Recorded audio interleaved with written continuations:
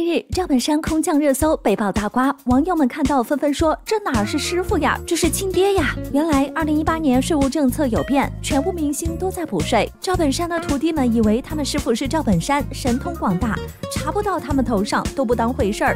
赵本山替他们交了总共一个多亿。当大批一线明星被查出吸毒后，赵本山的徒弟们一个个红了后，又怕他们犯错误，专一成立一个部门，不定期验尿。火车站、高铁站刚下飞机都会去突击一下。小沈阳、宋小宝火了后，赵本山怕他们摸不着北，交到坏朋友，与妻子离婚，不管去哪儿演出都让妻子陪着他们。